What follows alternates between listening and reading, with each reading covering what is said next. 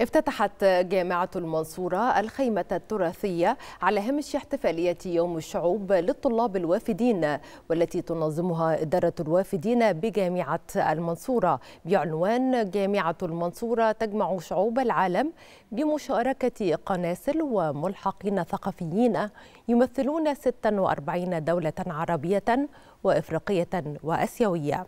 وخلال الخيمة عرض طلاب الوفود المشاركة التراث الشعبي لدولهم من المأكولات والمشروبات والعادات التي تميز كل دولة عن الأخرى.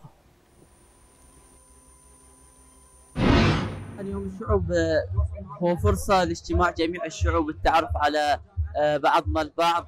اختلاف الثقافات اختلاف بعض الأمور اللي من خلال هذه الفعالية راح نتعرف على بعض أكثر وفي نفس الوقت هي عبارة عن فعالية اجتماعية لامة لجميع الناس بعيدا عن أجواء الدراسة فهي فعالية جميلة جدا وإن شاء الله يعني نكون وفقنا في عرض بعض الأمور عن البحرين وتمثل البحرين والشعب البحريني تحديدا. بقدر الإمكان إنه نسلط الضوء على العادات والتقاليد والتاريخ وجزء من الحضارات العريقة كالحضارة السودانية عندنا فبرضه حاولنا بقدر الإمكان نعكس التنوع الكبير الذي يحظى به السودان من موارد وسياح أماكن سياحية وغيرها.